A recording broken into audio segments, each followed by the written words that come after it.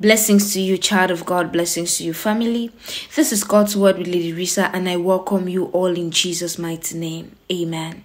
Someone watching me right now, you have been so worried because of the way people keep talking against you, because of the way people keep talking about you in a negative way.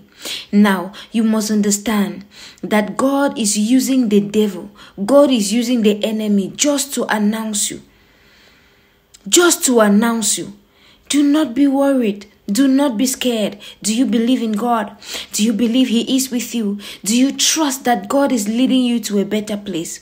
No matter what anyone is saying, no matter the lies that they are spreading about you, you have to believe that God is just using them as an instrument to announce you.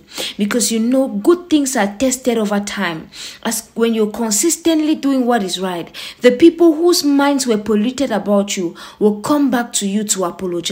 They will come to realize that you are not the person that people talked about. So don't be moved by gossip.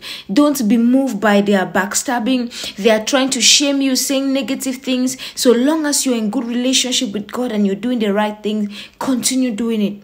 Be consistent. Don't get discouraged. Don't give up just because of what people are saying.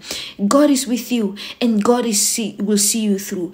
And the a time will come when they all will realize that they have been talking against you for nothing.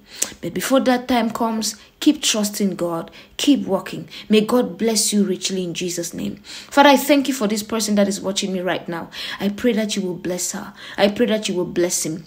I pray you will increase them in the name of Jesus. Amen. Now may the Lord bless you, may He keep you, may cause His face to shine upon you and be gracious to you. May the Lord look kindly on you and grant you His peace. I love you. Shalom.